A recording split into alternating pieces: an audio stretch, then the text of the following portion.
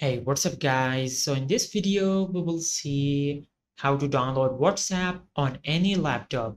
Now to do that, just open Google Chrome and in the search bar, just search whatsapp.com. Now just click on download. Now once the file is downloaded, you can click on this files icon or you can open the files manager app. Now just select downloads and also you can get access of the WhatsApp installer file from here. Now once you open this page, just click on WhatsApp installer. Now just wait for the WhatsApp app to download. Now as you can see, when the WhatsApp app is fully downloaded, you will see this page. Now from here, you can click on get started and set up your WhatsApp account or you can also log into your existing WhatsApp account.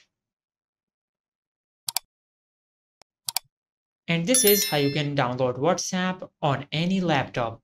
If you found this video helpful, please like the video and subscribe to our channel and hit the bell icon to get notified when we upload a new video.